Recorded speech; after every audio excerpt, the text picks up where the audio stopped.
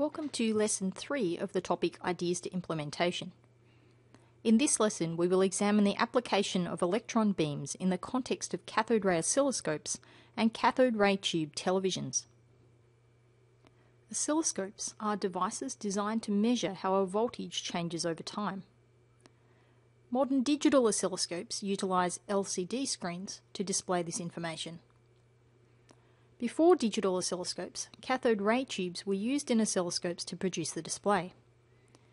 Cathode ray oscilloscopes, also known by the acronym CROs, utilize an electron gun to produce a beam of electrons. The electron gun is composed of a heated cathode from which electrons are emitted, a grid which controls the intensity of the beam, and a series of anodes which serve to focus and accelerate the beam.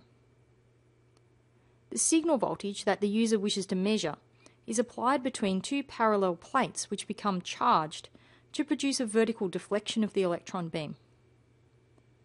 Another set of parallel plates is orientated to produce a horizontal deflection.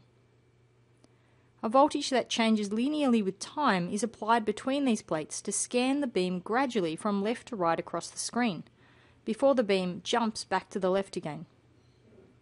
The rate at which the beam moves horizontally across the screen is set with the time constant dial on the oscilloscope. The electron beam illuminates a phosphor-coated screen which glows to produce the display of voltage versus time.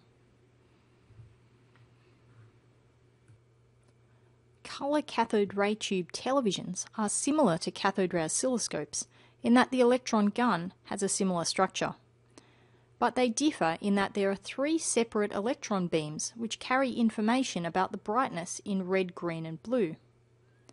The beams are deflected using magnetic fields rather than electric plates. The screen is coated with red, green, and blue phosphor dots, each dot corresponding to a pixel, and each electron beam only strikes dots of its designated colour. If a point on the screen is mostly red, then the beam carrying the information for red dots will be most intense, with the beams for green and blue being switched off or of low intensity at the moment in time that the beams strike that area of the screen.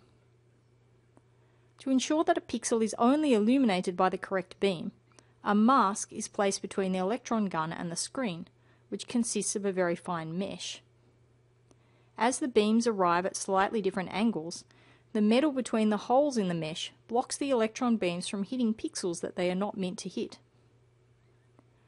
Once the electron beams have hit the screen and caused the phosphor dots to glow, and so producing the image seen from the front of the TV, they flow through a conductive coating on the inside of the tube back to complete the circuit.